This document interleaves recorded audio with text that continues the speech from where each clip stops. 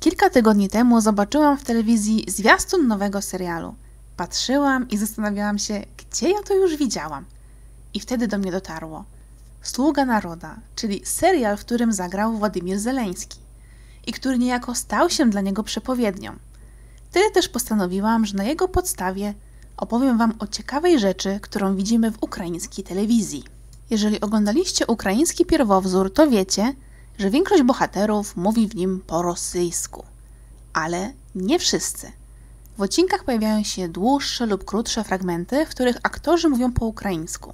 Wtedy też po raz pierwszy spotkałam się z dwujęzycznością programu telewizyjnego, która nie niesie absolutnie żadnych problemów ze zrozumieniem całości dla narodów, w których dwa języki są, a raczej były, równoprawne.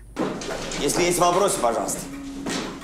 Василий Петрович, Да. а когда вы пойдете регистрироваться?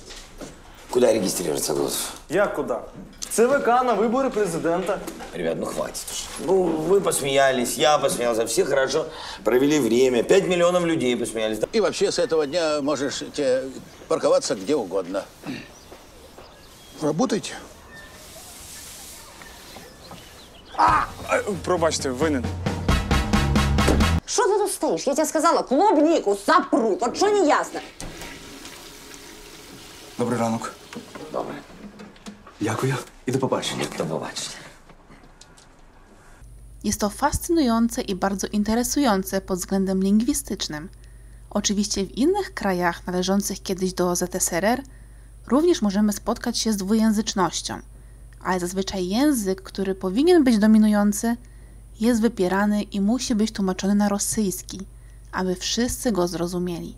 W telewizji w Kazachstanie widzimy ciekawy zabieg, to znaczy prowadzący mówi po rosyjsku lub kazachsku, a na dole pojawiają się napisy w drugim języku urzędowym. Niestety nie jestem w stanie stwierdzić, czy to, co mówią, jest równoznaczne z tym, co jest napisane. W Kazachstanie jest jeszcze jeden problem, a mianowicie prezydent na oficjalnych wystąpieniach mówi po rosyjsku, chociaż niby zna kazachski. W Ukrainie prezydenci zawsze mówili po ukraińsku w czasie wystąpień publicznych. Oczywiście ich ukraiński nie zawsze był idealny, ale jednak.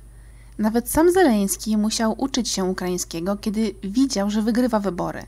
Sam język bowiem znał, ale nie używał go do rozmów. Co o tym sądzicie? Czy jako Polacy jesteście sobie w stanie wyobrazić, że nasz prezydent, rząd, urzędnicy mówią językiem, który kilkadziesiąt lat temu został nam narzucony i wypiera nasz ojczysty język? Czy może dwa, a nawet więcej języków urzędowych to coś fajnego i coś, co powinno być pielęgnowane? Jestem ciekawa Waszych opinii i tego, czy widzieliście ukraińską wersję Sługi Narodu i czy zamierzacie oglądać polską wersję. Kto wie?